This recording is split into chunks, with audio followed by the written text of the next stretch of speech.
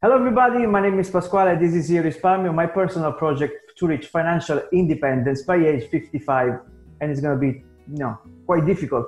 But today I have a very, a very special person, a VIP person, coming directly from the top of the top investors of eToro platform, Jay Nemesis. How are you, Jay?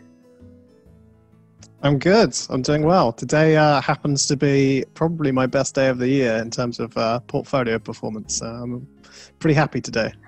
Pity I'm not copying you at this time. So, actually, you are. I understand you are a celebrity now because, if I'm not mistaken, you were interviewed by CNBC recently. Uh, Bloomberg. Bloomberg. Oh, yeah. Yeah, um, better. yeah. I've I've been uh, been featured in a few Bloomberg articles now. Um, I've been on Channel Four, BBC. Uh, yeah, quite quite a lot of stuff. Uh, seems to ever be increasing. Um, So you're on a busy schedule now. Thanks for accepting my invite this interview. so um, I have a couple of questions that could, that you know that my curiosity every time I see people like you being so successful in this world and reaching the top investor on a platform like eToro. I am trying to understand what uh, brought you there. So the most probably uh, important question for me to understand it's really where are you coming from? Where are you now? And where you want to be in the forese- next foreseeable future? I mean you had uh, quite a long story on eToro and i presume also you know other investment how did it happen? Yeah, um, I mean, I guess it spans back to my childhood, really, like my teenage years. Um, by the time I was like 13, I was really interested in politics and in economics and in uh, investing. You know, um, I just found it super interesting. Um, anything that was some sort of a big kind of system or ecosystem was um, just kind of interesting to me to learn about. So, yeah, I learned about investing. I learned about how, how money works, how currencies work, how, how markets work, um, fully self taught. Uh, and yeah, I, I always knew that I, you know, I figured out from a young age that investing um, early is important and compound growth is, you know, basically the most powerful force force Yeah. in uh, in making money that there is. If if you want to make money, then the best way to do it is to start investing um, as soon as you can. So uh, that's that's what I did, and you know I started investing when I was about 18, um, Wow. and joined eToro back in 20, uh, 2013, and the rest is history, really. yeah well hopefully it's going to be a long history it's not stopping soon um, But how did you approach the world of investing? Because it's not something that everybody at the age you started wants to do. Probably people, you know, look at the, the age to drive sports car, to go out with ladies, or something very, very completely different from what you did to. Actually, it was my life. I mean, I'm 42 now, and probably was um, dreaming a Ferrari at the age you started investing.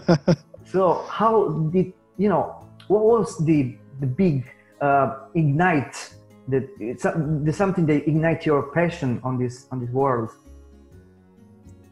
Um, I just I just find it all fascinating. You know, um, I, I just like learning about stuff. I think Okay. really um, that's that's really the core of it. I I like learning about new products and I like technology and I like thinking about where society is going to be in the future. Um, you know, I was thinking about electric cars and and uh, green energy and things like that. You know.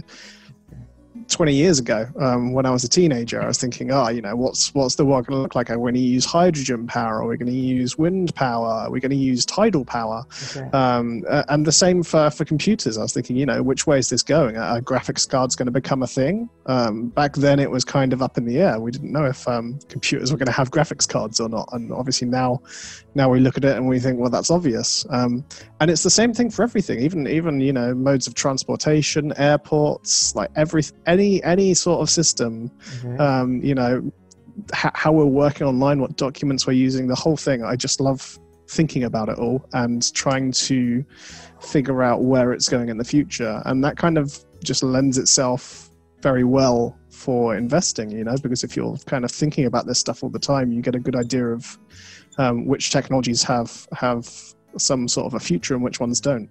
Okay, so basically, the fuel of your success is just curiosity. Yeah, exactly, exactly. And uh, you know, I, as far as I can see, you have also some other passion because if I read your um, bio properly on eToro, you started something like a computer technician. So you were already something passionate about electronic. And I, it seems to see in some of your videos on YouTube, you're a gamer because I saw some Doom uh, stuff behind you. yeah. Yeah, no, um, I was actually a professional gamer for a while wow. as well. Um, back when professional gamer meant earning, you know, just about minimum wage if you were one of the best in the world. um, so it didn't pay very well. But yeah, I, have been a gamer since, you know, the same sort of age. Uh, I, I, love games. Again, it's the same sort of thing. You know, I love the strategy of it and, and um, the kind of thought processes that go behind it uh, and trying to find the most efficient way of doing things. So okay. I play a lot of um, strategy games. Those, those are the games I play the most. And uh, yeah, and board games and stuff as well. And as as you say, it just lends itself very well into uh, you know getting interested in technology. Okay, just a bit of curiosity, uh, did you play Civilization in, as a one of your game? Yeah, so I uh, Civilization Five. I think I have like thousand hours played on Steam. So, yeah, uh, and I used to play Civilization Three and Civilization Two as well. So, yeah, uh, those those are exactly the kind of games that I love. So where you can put down your curiosity, but also your will to develop whatever you're doing. Yeah, I, you know the the kind of idea of uh, shaping society the way you want to shape it and yeah. building your own civilization. You know, as the game suggests. Uh, I mean, you know, I play a lot of political games as well. Um, there's a game called Democracy, okay. uh, Democracy Four that I play, which is basically you know you taking over uh, the the country. You know, pick a country: the UK, Italy, France, uh, US. You take over the country and you decide the tax policy and you know the business environment, the laws, everything. Um, and I find that really interesting as well. It's a good, uh, good way of like you know theorizing stuff.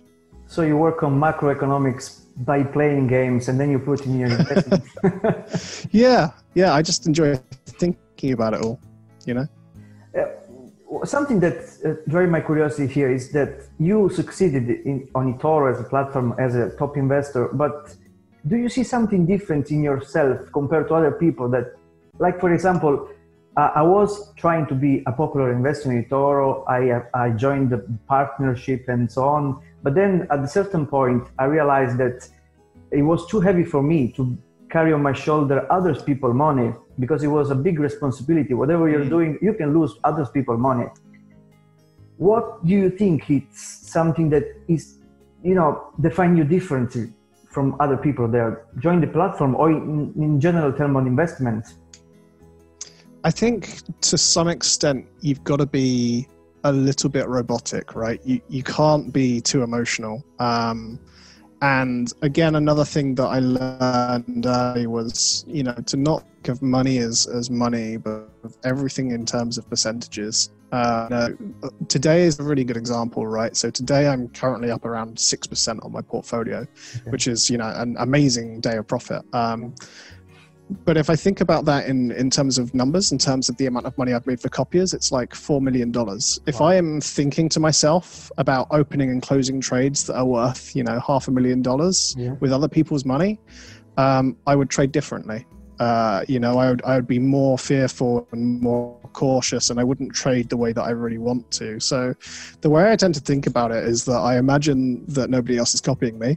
Okay. um, you know, I, I warn people uh, about volatility as much as I can so that, you know, I, I feel uh, a little bit better about, you know, having warned people that, you know, these things go up and down.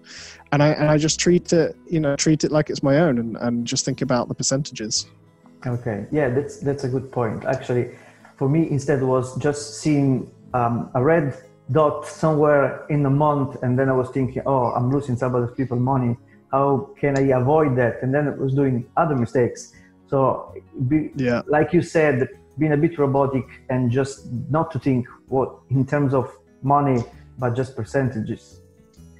Yeah, I mean, it was a it was a real learning curve. Even even with that kind of mindset going into it, I still, uh, you know, when I first became popular on eToro to to a large level, you know, I was getting like my first thousand copiers at that kind of point, and managing my first, you know, uh, five hundred thousand dollars of other people's money. At that point was where you know I kind of had to come to terms with it. Um, and it did take time because, you know, for the first month or so, I was chasing profits and chasing trades. I was like, oh no, this person's just copied me. I need to make the money like immediately and get them in the green. And, um, and eventually you learn to just kind of not care so much about that and, and you know, um, focus more on telling people to think long term and, and, you know, just let your portfolio do the work for you. You just learn to stick to the plan and to your strategy and let the emotions go. Yeah, exactly, exactly. Um, you're an investor, as we're telling the whole interview, but are you something different also? Do you save money, or do you plan other stuff rather than being just investment? Like I don't know, some some people when they reach certain point, they think about um, in, uh, real estate investment, or somebody drives some money on the peer-to-peer lending do you have other kind of investment or you just focus on the stock market at the moment stock market at the moment yeah so um, i got into cryptocurrencies in 2013 and, and basically all of my cryptocurrency essentially is outside of etoro um, okay. so i still have that and you know i used to trade actively but these days i tend to just kind of leave it alone and, and let it do its thing mm-hmm. um, i haven't gotten into real estate i'm not sure if i will or not um, you know, I, I own my own house, but that's uh, that's about it. Um, I think you know it's it's a it's a good safe investment, but for for me, I much prefer to invest in things that are really going to impact the world. You know, I want to be able to look back in in uh, 10 years or 20 years time and, and think that my decisions have led towards good things, right? Good products being made or jobs being created, and and a building doesn't really do that. Um, land doesn't really do that. So it doesn't really fill that gap in me. It feels more like I'm leeching from society than than kind of this give and take relationship okay. where I'm I'm helping companies build stuff and I'm um, directly funding stuff. Uh, and, I mean that also is is a big part of why I like eToro. You know, the fact that I'm I'm helping my copiers at the end of the day. You know, yeah. um, I'm I'm earning them money, and yeah, I'm getting paid while I do it. But um, the the fact that I'm helping people that maybe don't have that much in savings, and they they start with five hundred dollars, and by the time they stop copying me, they have five thousand dollars. That's um, you know that's kind of the dream really to, to help normal people understand um, better ways of saving money. Um, yeah. yeah. And on, on, that side you can also think that you're helping other company to grow. If you believe in a business you believe on what they're producing or what they may produce in the future you're just yeah. giving them your trust your confidence then they grow in their yeah. growth yeah exactly. I'm I'm providing them with resources to help them achieve their goals. Um, and and and you know, I I'm I try very hard to be like an ethical investor as well. You know, I, I don't invest in oil and in guns, in smoking, yeah. um, and anything that I think is you know a net negative to the world. Um, even companies like Facebook, I, I won't I won't uh, go long on Facebook because I'm not convinced that they're actually good for the world. Um, so you know, I, I, want I want to be able to look back with a with a clean conscience and, and, know that my money and my resources and my time was spent making things better, not worse. Um, okay. And that's that's a big part of how I uh, look at investing. So you can make money being ethical. You don't need to be like. Uh, yeah, I, I think that there is, you know, I, I mean, I, I hope that I'm starting to get to the point where I'm, I'm evidence of that for people, right? That yeah. you can invest uh, in, in good things um, and, and still make money at the same time. Okay. Now that we are talking about investment, uh, probably this evening we will, we will know who is going to be the next president of the United States. How do you think the, this election will impact the investment in the medium term? Because obviously in the long term, you know, every four years they change the president, but in the medium term, what do you think is going to happen? Um, I think the markets are going to continue to go up. Basically, um, you know, I, I did. Uh, I, have been through a few elections um, while I've been investing, and one thing I've kind of come to realize is that it doesn't matter who's in power. Um, companies still make good products; they still sell those products. The economy still grows as a whole. Um, and everything generally trends upwards. You know, it may be a bit bumpy sometimes, um, Okay. especially around the election. Like the the month of the election is always pretty bumpy.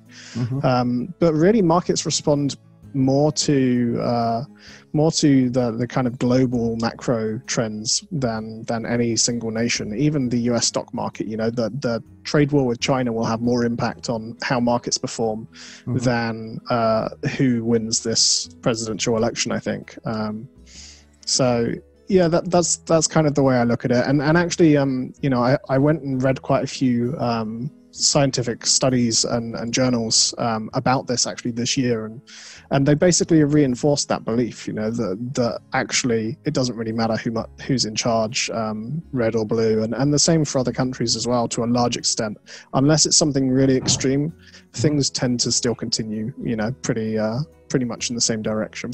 The markets flow just uh, follow the flow of the river and everything else is forgot probably. Yeah, pretty much, pretty much.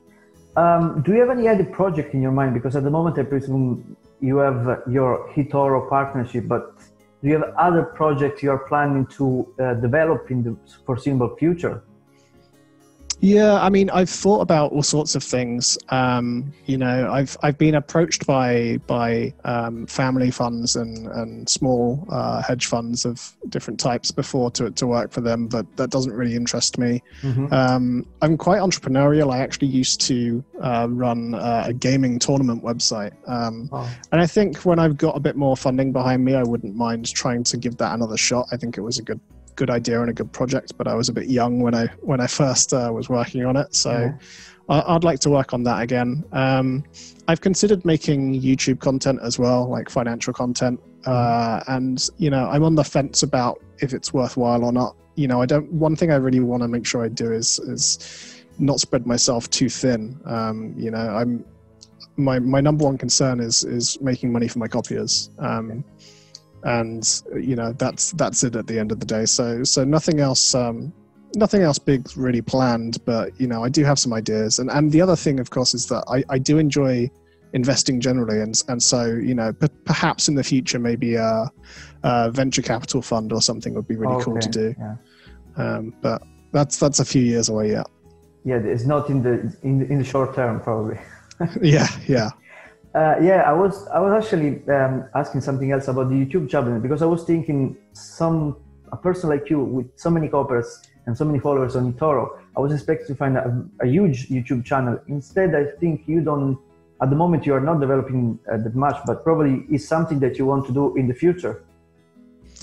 Yeah, as, as I said, it's something that I've thought about a lot. And, you know, in, in 2018, um, when I first kind of started to see a lot of success, I, I experimented with putting out like weekly update videos and, and I, I experimented with some slightly different content. I did content um, covering cryptocurrencies and, and other stuff. But I'm, I'm not a very good presenter. um, you know, I'm, I'm not uh, super charismatic on camera, I don't think. So um, it's, it's not really where my strengths lie. And as as much as I think um, I could add quite a lot of value uh, and and help people learn the kind of stuff that I've learned, Mhm. um, I'm just not sure that I'm the right person for it, right? And so I need to think about things like hiring an editor and hiring someone to present the information. And before I know it, you know, it's turned into like quite a big risky venture to to take on. So um, you know, that's that's why I'm kind of on the fence about it. I don't want to rule out uh, doing it because maybe I will at some point decide to do that. Mhm. But for the time being, I'm pretty happy with the kind of content that I'm putting out at the moment. You know. Okay. Um, to follow all your daily routine, do you, are you strict in your daily routine? Do you plan it? Are you able to manage your day in the way you want every day? Yeah, I'm not at all strict. Um, most most like big important CEOs and investors will tell you that they wake up and they read the news in the morning and then they do this and then they do that and they read an ebook or whatever. Um, you know, I get up at different times every day. I go to bed at different times every day. Sometimes I stay up all night watching election news. Sometimes uh, I play games when I should be uh, should be watching the markets Yeah. not not too often. Um, but I think that's kind of what keeps me sane. You know, um, investing is actually a really lonely job. Um, so I think making sure that you kind of have a flexible lifestyle around it and you're able to kind of, you know, drop it and and do other things and go outside for a walk or you know play some games or socialize with your family um, is is important and you know, for, for me, I trade uh, mainly US markets, but I also trade European markets and Asian markets and cryptocurrencies. So, you know, essentially that's 24 hours of my time, right? I can't I can't be watching it all of the time. So generally, I try and uh, try and make sure that I have time off. Um, but, but that being said, I do try and stick to a rough schedule. You know, my, my working my core working hours are basically when the US markets are open. Sometimes I'll, you know, take an hour off or go do something, but essentially I'm always watching at market open and market close regardless. Yeah. Even having said that, nowadays with your mobile phone you can check every time if you need to if you are something yeah. important happening yeah no I, I, never i never go anywhere that hasn't got an internet connection so no small houses in the mountains of italy. No no exactly exactly. Uh, do you think you need any kind of special gift to succeed in the world of investment, or I mean, the right education makes everyone everyone possible to succeed in this field? Um, I think to some extent you need uh, you need certain certain qualities. I mean, there's different styles of investing as well that that lend themselves to different types of personalities. Um, but I think one one thing you need is is you know as as bad as it sounds, this kind of lack of emotion, um, because that that's the hardest thing to control. Um, and every investor, every every book you read on the subject will tell you that. Um, you know the the fear and greed cycles and and how they can kind of uh, play with your mind um, on trades, and and also even just you know um, having regrets and stuff. You know, once you do a trade, you need to forget about it and move on to the next trade. It doesn't matter if it made lots of profit or if it made a, massive loss. You need to just forget about it and move on because it's no longer important. Mm-hmm. Um, in terms of learning about it, I, I, think anyone is capable of understanding how how financial markets and work and and you know what good investing strategies are. I think the hard part is um, is predictions. Um, trying to figure out how the market is going to view a certain event. For example, these elections, you know, um, the market has moved pretty wildly up and down um, throughout the US elections as it's kind of looked more obvious that Biden was going to win. Mm-hmm. Then it kind of favored Trump, and now it's kind of swung back to Biden slightly. Yeah. Um, and I think, you know, for, for me, what's made my portfolio perform well during this time is that I, I was very sure in my head of which way things were going to go before that event. Okay. Um, and, and I had contingencies in place if it didn't. Um, so it's about being prepared and it's about uh, kind of, you know, being, being sure of your own ideas uh, as well. So some people are going to be good at that and some people are, are not going to be quite so good at it. So you always to wait, you have to prepare for the uh, good investment, but also you have to prepare for the black swan that you can encounter during the yeah. time of volatility. See, see, it's interesting you say that. You know, a lot of people talk about black swan events and how you know you can't predict them, and it's yeah. true that you can't predict what the black swan event is going to be, but you can identify it early and act early. Um, and and that's what I did with COVID, and that's how I managed to um, do so well through March, and mm-hmm. that's also what I've done with the U.S. elections. Um, so, you know, I, I don't buy into this idea that, you know, um, everyone is going to end up being victim to a massive market crash. Um, it's likely that most people are. I have been. I've been caught out by the cryptocurrency crash in 2018. Mm-hmm. But at the same time, I do think that all of these things are avoidable if you're paying enough attention to the right places um, and, and constantly, you know, yeah. focusing on, on, on what's happening in the world. So you can't avoid it completely, but you can actually turn the events in your favor if you are able to foresee what is going to be happening in close to the to that event. Yes, exactly. Um, if somebody wants to start investing now, I mean, 2020 with internet connection, there are brokers everywhere, there are information everywhere, free of charge. You can, you know, watch video on YouTube. Do you have any specific um, advice you can give to those people that want to start now as a fresh investors? Um, I think the number one golden rule that I see so many people breaking is uh, leverage. Do not use any leverage. Do not use do not trade options markets. Do not trade uh, uh, do not short stuff. Do not go uh, on five times margin or, or lending money or anything like that. Don't don't invest money you don't have. Those are the things that really undo people quickly. Um, as long as you do that and and you start off small um, you've got a good chance of, of learning what you're doing um, while keeping the price of that learning low, right? Everyone's going to make a lot of mistakes in their first few years trading, and I've been trading for you know over a decade now, and I'm I'm still finding that I'm learning a lot every year. Um, even this year, I think I've learned so much more than I knew back in 2019, and in 2019, I thought the same thing of 2018. Mm-hmm. So it it all takes experience. Um, so you know, start off slowly. Uh, and don't use leverage. Those are uh, at least not at the start. Those are those are the things I would recommend. Okay. And what about there's a big debate about this if using the demo account or not because some people are saying if you use the demo account you don't put your emotion on your money when you're trading while if you use the real money you're probably treating the trade differently do you think the demo account is a tool to be used or is not I, I think demo accounts are really useful, um, but only really for learning how trades execute, how to use the platform, where everything is, um, you know, what it's going to look like when you're making a profit, how to set your stop losses and your take profits, um, you know, more experience in looking at candlesticks, testing out different ideas, different strategies. Um, you know, I think uh, there's definitely a place for demo accounts in the first few months, um, but after that, I would say that trading with real money is, is better. Um, yeah. Okay. So good advice from one of the top experts of eToro today. Um, thank you very much for being with me this evening. It's, been a pleasure, and uh, you know, um, giving some kind of advices to uh, people that are not so expert from a person that throughout a decade, as you, as you said before, did his own mistakes and learn from what he did in the past to bring exceptional um, an exceptional future to himself and to all his copiers is an honor for me. Thank you very much for being here this evening, uh, uh, Jay. It's been a pleasure. Thanks for thanks for having me.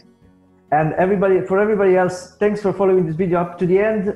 My name is Pasquale. This is Io Risparmio, and see you in the next video. Bye.